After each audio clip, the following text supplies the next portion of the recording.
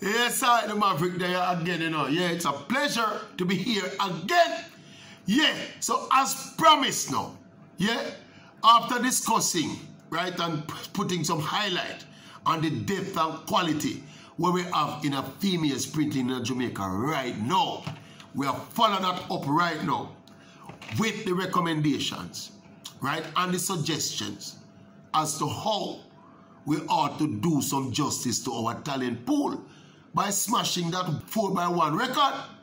Jamaica must get that 4x1 record in and out of this era, this golden era Jamaican female sprinters. Must. It will be a travesty if we allow this era Jamaican sprinting to pass and we don't break that world record. Right now, the world record, they are 40.82. Yeah? Jamaican national record, they are 41.02. See? Me not see why, right, with the quality what we have, see, that we cannot break this world record. You know notice me never say break. Broke and dismantle this world record by a distance up there on the Oregon track at the World Championships. Me not see why. You don't know what it really is, you know. Different coaches and different experts have them own philosophy about how to set up a relay team. See, you know, them have this, a lot of nuances when them have when they make them decisions, you know. You know, you know, the chemistry, the, the, the sprinters, you know, the, the, who is better able to run whatever uh, maneuver, whatever aspect of the track, who start best normally, the bullet starter normally start it, you know, you know your, your top sprinters down the straight always run the back straight one, and your good corner runner on the third leg, and of course, your anchor leg. Sometimes they put the weakest um, sprinter on the anchor leg. Me not buy that. That could have never happened in any relay where we have anything to do with. Anyway, I'm going to set out the order in short order and make you know. Oh, see, we're supposed to do the obvious and do the right thing and break that world record. No excuse to leave Oregon without that world record. These girls have been so good, know, and continue to be so good, know, that we are look past the gold medal now, you know. Eh? We are look past the gold medal now, you know. And the world record we are look past.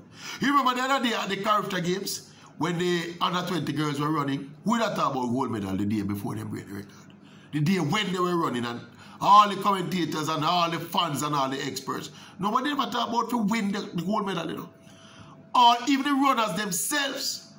When Tia Clayton fly across the line and she look on the clock, you know, she say, yeah! And she jump in the air. She said, I see him so with the senior girls going into these world championships. We are look past the gold medal. See? And we are implore the coaches to do the right thing and do the necessary thing with the baton changes. And that's important, you know. Two dynamics to relays, you know. Outside of raw speed. See? Baton changes and where you put each runner. It is important. If you are talking about world record margins, it is important. Of course, it is always important how you pass around the stick. But in terms of who you allocate to each leg, I think with something as, as without fine margins as a world record, it will make the difference in the end. Anyway, so here my lineup now. See, and we're not to reinvent the wheel too much, you know. But we think and that little tweaker, I'm to make me run faster. Trust me. All right, so the starting leg, of course, and the bullet starter, Briana Williams. She did it in Tokyo last year, and she got a taste for it her very first Olympics as a 19-year-old, and she won gold. She's improving, right? And we expect her to run faster this year. We expect her to even improve her start this year. Of course, you know, you have other bullet starters. You know, there's a girl named Kemba Nelson. I run for the circuit, not the college circuit up, up, up in the States. Eh? Kemba Nelson, no, a normal start now, you know. And she's also a sub-11 sprinter as well. But of course, we're going to have to see how it go at the trials. Because the relay pool, we're going to see how that work out at the trials with the relay pool. But as we have it now, you expect that Briana Williams will make the team, and I would have her to start. Now we start this monthly thing now. Because on second leg, the longest leg in this relay, we have set up this leg for me, the longest leg in the relay. I have Shelly-Ann Fraser-Pryce. the second passes. Second passes woman alive. Running the back stretch. Yeah. Boom. Not very many people in the world can manage Shelly-Ann Fraser-Pryce flying on a back stretch. Since we have put Shelly round on the back stretch round this. one. Third leg. One more little tweak. See? A Shericka Jackson me up on the third leg. Yeah, man. Long time 400, 200 runner. Very comfortable at running the curve. She looking super shape right now. I see her run at a meet up at the stadium the other day when I look at her thighs. Me say, OMG, this girl is ready. Yeah, man. So Shericka on the third leg. And you know, I guess who were anchored Now by process of elimination. You know, so we are hand over to the fastest woman alive. May I have said about that? Handing over your anchor leg to your fastest woman alive, it makes common sense. I think so. I always want my fastest sprinter on my anchor leg. But it's that aside though, on that aside, I think it makes logical sense. Elaine Thompson, of course, has blistering top end speed. She has blistering speed all around, know. But you see that final third, that final quarter race, that is when she normally overpower and blow away people. And here's the other reason why I think my best runner, my fastest sprinter must be on my anchor leg. Again, with something as with as fine a margin as world records in a sprint relays.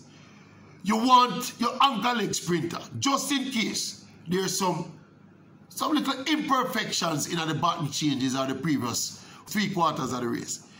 You want somebody to be able to compensate for any imperfections with finishing the race strong. See? I mean, people going have them preferences either way, know. But personally, I've been thinking about this a long time. I mean, think if you go Briana to Shelly to Shericka to Elaine, eh? 40.65, me I predict. Shatter me a shatter the 40.82 world record. 40.6 me I go. If we set up the relay that way. See, the only possibility, I, I well, it's not even a, it's a possibility. See, but you figure say the big three, Elaine, Shelly, and Shericka are going to make the team. I don't know if Kemba Nelson them are, are, you know, somebody else, maybe Kevona Davis or one of them girls that can come and spoil the apple card. But knowing the kind of competitor that Briana Williams is, I don't think she'll be sitting on her laurels and being satisfied with one Olympic gold medal or one major event gold medal. So she'll come back ready for the trials and she'll run faster. See? So what do you think about my order? Yeah? Briana, to Shelly, to Shericka, to Elaine, 40.6. Put it at 40.6 mid, 40.65. Smash we a smash a world record. And anybody who broke back a world record, eh, and we are go back and broke it back next year or, or sometime this. Make we leave the record at a level where, yeah, them have to look upon it and say, wow, that was a golden generation of the Jamaican girls. And that's how we put a record there. Put it at somewhere when them see them say, wow. See, 40.6 we go. And if the baton change, it's perfect, we know. We go 40.4, 40.5, you know. You think we easy? Then, hold on. We have the two fastest women, you know, in the world right now. You know, we have a 10-6 runner and a 10-5 runner, you know. I mean, know Shelly a 10-5 runner right now. It was just a matter of time. And Elaine look like she can go 10-4 too. So there is no excuse why we don't mash up the world record. I mean, I tell you, if the coaches do their work on the baton changes, see, and make sure we have that pat, see that everybody do them thing, no injuries, no nothing. 40.4, 40.5, man. We satisfied with 40.16. See? What you think about that? Set up. What you think about that? Order. Eh? eh? You have to come good enough. And logical, if you convince me say that order is not the best order you broke that world record, you know. As Mr. We are look past the gold medal, the world record we are talking about. Eh? What you think about the order? Best order! Maverick, right. All right, check in on the comment section and tell me what you think. You know, remember, say Oral Tracey Maverick with the best and most credible opinion, you know. See, on all issues on which I speak, especially this issue. What you think about? What you feel like? Eh? Remember, write down the number, you know. Write down the time, you know. 40.65. And if we get things super perfect, 40.49, 40.50. Very possible. We will have this world record a long time and we don't left Oregon without it. Boom bang, boom bang. Check it.